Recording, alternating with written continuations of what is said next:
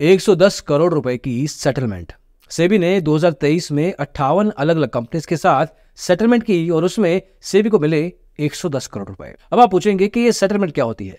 जब भी कोई छोटी से लेकर बड़ी कंपनी स्टॉक मार्केट में सेबी की कोई भी रेगुलेशन को ब्रेक करती है, उससे पैसा कमाती है और सेबी उसके पीछे इन्वेस्टिगेशन करता है तो वो अपनी तरफ़ से सेबी को एक प्रपोजल भेजते हैं और कहते हैं कि हम आपके साथ एक सेटलमेंट करना चाहते हैं। हम आपको एक अमाउंट देंगे और आप इस केस में आगे की इन्वेस्टिगेशन मत कीजिएगा। इसमें बेसिकली ना मैं एक्सेप्ट करूँगा, ना मैं रिजेक्ट करूँगा। सारा का सारा क्लेम एज इट इज़ रफा दफ़ा हो जाएगा। इसी को अच्छी भाषा में सेटलमेंट कहते हैं। सेबी का ये रूल आया है यूएस की SEC securities and exchange commission से। वहाँ पे भी बड़ी बड़ी कंपनीज़ को इस तरह से ही सेटलमेंट कर लिया जाता है। इस वीडियो में जांचने की कोशिश करेंगे कि ये पूरा का प्रोसेस क्या होता है। कुछ केसेस के बारे में जांचने की कोशिश करेंगे कि जो भी इंडिया में अलग अलग तरीके के फ्रॉड्स होते हैं रेगुलेशन को ब्रेक किया जाता है, उस केस में ये सेटलमेंट उनकी हेल्प कैसे करता है और किस तरीके से अगर ये सेटलमेंट ना हो तो उन कंपनीज़ का एक्चुअल में रियल पिक्चर क्या होगा?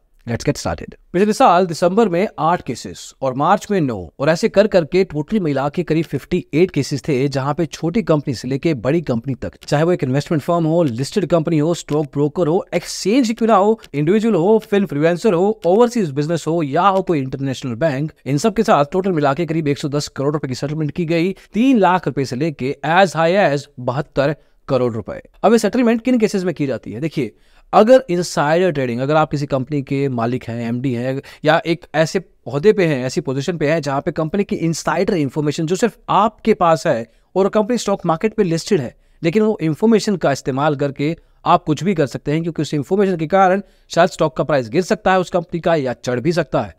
इसका फ़ायदा अगर आप उठाते हैं तो इसको इनसाइडर ट्रेडिंग कहते हैं। PIT prohibition of insider trading का एक रूल कहता है कि आप ऐसा नहीं कर सकते। इनफैक्ट एक कूलिंग पीरियड होता है जब भी ये इंफॉर्मेशन पब्लिक में सबको बताई जाएगी, उसके करीब एक महीना पहले आप उस इंफॉर्मेशन का इस्तेमाल करके कभी भी उस स्टॉक को बाय या सेल नहीं कर सकते। आप नहीं कर सकते, आपके रिश्तेदार नहीं कर सकते, आपके थ्रू कोई पैसे की ट्रेन नहीं दिखनी चाहिए। ये सब कंट्रोल्स मेजर्स सेबी ने लगा रखे हैं। लेकिन फिर भी अगर आप ये करते हैं तो सेबी की इन्वेस्टिगेशन आपके पीछे पीछे आती है। और उस केसेस में सेबी सेटलमेंट करने को रेडी हो जाता है। उसके अलावा होता है सेस्ट देखिए, भारी भारी वर्ड्स है, लेकिन मतलब बहुत सिंपल होता है। सेस्ट का मतलब है substantial acquisition of shares and take overs सीधी भाषा में अगर किसी लिस्टेड कंपनी के शेयर्स को कोई सब्सटेंशियली हाई अमाउंट में खरीद लेता है तो उसको सही टाइम पे उस कंपनी को और साथ में एक्सचेंज को बताना पड़ेगा कि यह हम हाई क्वांटिटी में शेयर्स का टेक ओवर करने वाले हैं। क्योंकि अगर ऐसा नहीं करते हैं तो उस केस में शेयर का प्राइस मैनिपुलेशन होने के चांसेस होते हैं because people who are buying at high quantity substantial तरीके से तो वो एक तरीके से वॉल्यूम के बेस पे प्राइस को ऊपर या नीचे कर सकते हैं। इसके अलावा सैकड़ों और कंप्लाइंसेस होती है, जिसके ब्रेक होने पे सेबी की तरफ़ से इंस्पेक्शन शुरू हो जाता है।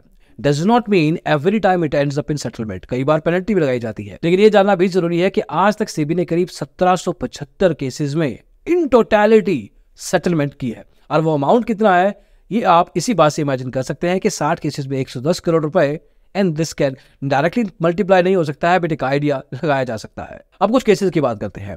राकेश झुंझुनवाला, ये एक बहुत ही रिस्पेक्टेड नाम है स्टॉक मार्केट में। जितने भी पुराने बड़े इन्वेस्टर मिलेंगे आपको, कहीं ना कहीं कुछ ना कुछ पेज उनका इनसाइडर ट्रेडिंग में मिल ही जाएगा। अभी राकेश झुंझुनवाला एप्टेक कंप्यूटर्स नाम की एक लिस्टेड कंपनी के बोर्ड ऑफ़ डायरेक्टर्स में बैठते हैं मैनेजमेंट में बैठते हैं। इनके पास जुलाई 2021 में UPSI unpublished price sensitive information मतलब ऐसी इंफॉर्मेशन जो कि दुनिया के पास नहीं है, लेकिन जब भी आएगी तो वो प्राइस के लिए सेंसिटिव मतलब प्राइस को चेंज कर सकती है।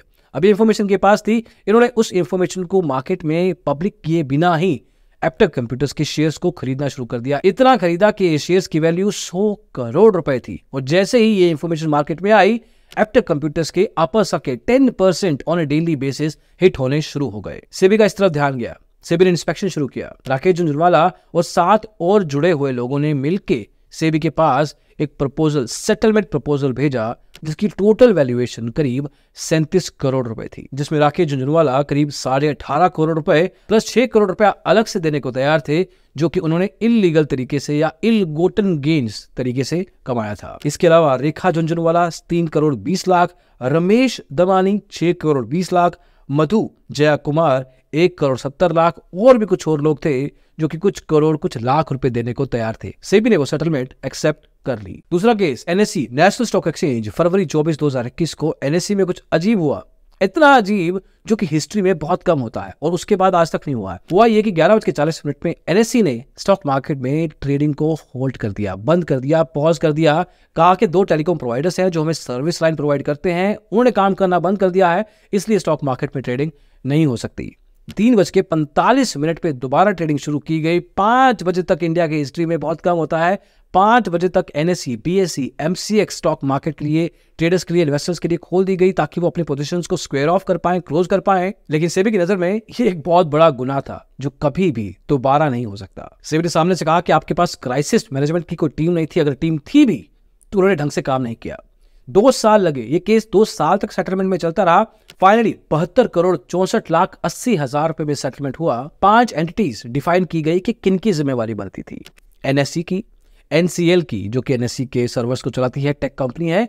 उसके अलावा तीन लोगों की, विक्रम लिवाए जो कि एनएससी के एमडी और सीईओ थे। विक्रम कोठारी, जो कि एनसीएल के एमडी थे। मिस्टर शिव कुमार भासिन, जो कि एनएससी के सीटीओ चीफ टेक्नोलॉजी ऑफिसर जिनका काम होता है ये सबकी देखरेख करना, ये पाँच एंटीज एनएससी के ऊपर फाइन लगा करीब उनचास करोड़ छिहत्तर लाख अस्सी हज़ार रुपए। एनसीएल के ऊपर फाइन लगा बाईस करोड़ अट्ठासी लाख रुपए। इन दोनों को जोड़ेंगे ना अगर आप तो वो वैल्यू बन जाएगी।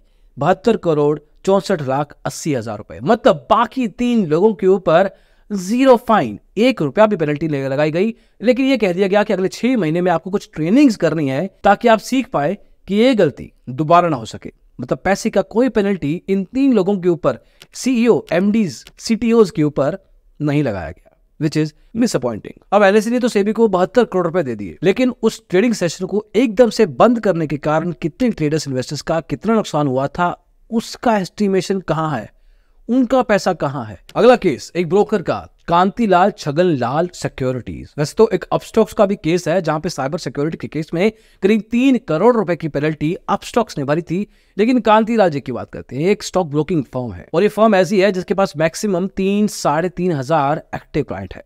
बहुत बड़ा ब्रोकिंग फर्म नहीं है। शायद ARPU average revenue per user ज़्यादा होगा बट स्टिल मार्केट में रिटेल लेवल पे बहुत ज़्यादा काम नहीं करते। लेकिन इनके ऊपर इल्ज़ाम ये लगा था कि अपने क्लाइंट्स की अनऑथराइज ट्रेडिंग करवाते हैं। मतलब क्लाइंट से पूछे बिना ही उनके अकाउंट से ट्रेड करवाते हैं ब्रोकरेज जनरेट करने के लिए। हर ब्रोकर जिसके आगे सब ब्रोकर या फ्रेंचाइज है, उसका काम होता है कि सब ब्रोकर को इंस्पेक्ट करना on regular basis Chhaganlal, Kantilal ji ये नहीं कर रहे थे। इन तीन हज़ार एक्टिव क्लाइंट्स के ऊपर चार शिकायतें थी। बहुत ज़्यादा नंबर नहीं है। लेकिन फिर भी कालतीलाल छगनलाल सिक्योरिटीज ने कहा, आगे से सेबी को कि आप ही केस रफा दफ़ा कर दीजिए, हम आपको इकतीस लाख बीस हज़ार रुपए देने को तैयार है। मोस्ट लाइकली ये ब्रोकर चाहता नहीं था कि सेबी उसकी किताबों को कभी देखे, क्योंकि किताबों को देखेगा तो बहुत कुछ खुल जाएगा।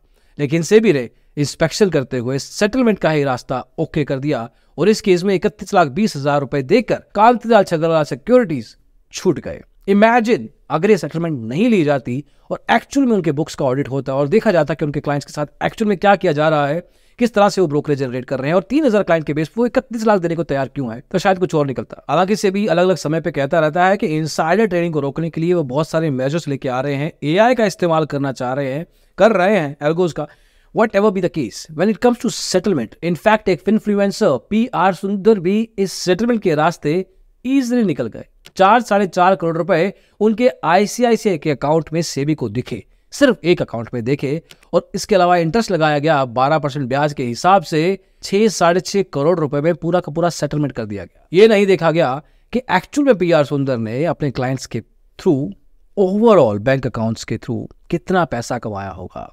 That was one easy way the thing is ये छह, साढ़े छह करोड़ रुपया पहुँचा सेबी के पास। और ऐसा ही एक बाप ऑफ़ चार्ट के केस में हुआ था, जहाँ पे थोड़ा बहुत हमारा इन्वॉल्वमेंट भी था, लेकिन नंदलेस उस केस में बाप चार्ट को कहा गया कि आपको अपने सत्रह करोड़ रुपए जो आपने कमाए हैं, वो सारे सारे क्लाइंट्स को रिफंड करने हैं।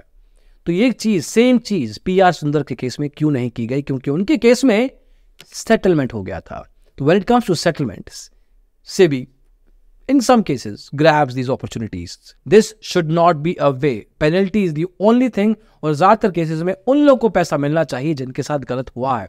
किसी रिटेल ट्रेडर इन्वेस्टर के साथ अगर पैसा गलत तरीके से लिया गया है तो सेटलमेंट करके सेबी के पास जाने के बजाय वो पैसा वापस उस रिटेल ट्रेडर के पास पहुँचना चाहिए। That is one thing SEBI should focus on and probably उसका एक सोल्यूशन निकालने की कोशिश करें। तो ये था दोस्तों सेटलमेंट का एक तरीका स्टॉक मार्केट में जो चलता है, ज़्यादातर केसेस में कंपनीज़ के साथ बहुत कम होता है, जहाँ पे इंडिविजुअल्स के साथ ऐसा होता हो, ऐसा रास्ता दिखाया जाता हो, लेकिन इंडिविजुअल्स को पता नहीं होता। अब पता लग गया होगा शायद। बट टेंथ लेस अभी के लिए इतना ही। होपफुली आपको कुछ नया सीखने को मिला हो। जो भी लगा हो कमेंट सेक्शन में ज़रूर बताइएगा और साथ में अ डिजिटल ब्लॉगर को सब्सक्राइब भी ज़रूर कीजिएगा क्योंकि we do all this just to get in front of you as much as we can और सब्सक्राइब करेंगे तो वो ज़्यादा हो पाएगा। अगली वीडियो में जल्दी मिलेंगे, इसको देखने के लिए बहुत बहुत शुक्रिया। बाय